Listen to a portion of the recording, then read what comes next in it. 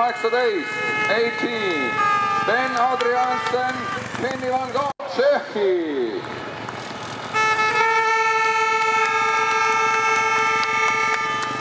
number kolm, noormees.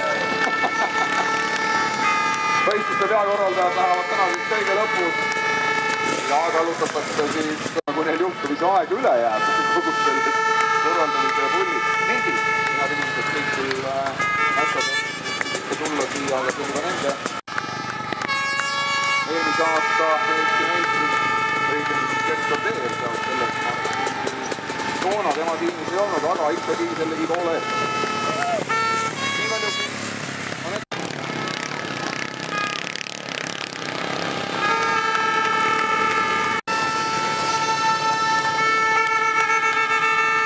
tagasi ja aga ma ikka ikka jõuavad ilusasti siia tagasi, seal oli sellist väga professionaalset võtet, meeletu mäkkejooks, mille käigus siis üks inimene selle äh, suure bänneri endale sai.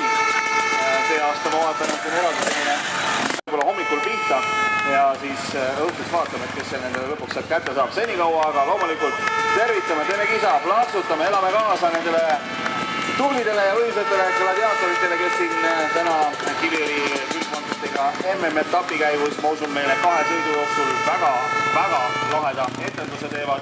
Ja lisaks sellele on siis meil veel loomulikult äh, ka Kuade rajale tulemas.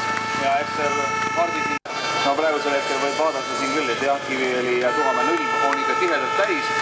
Ja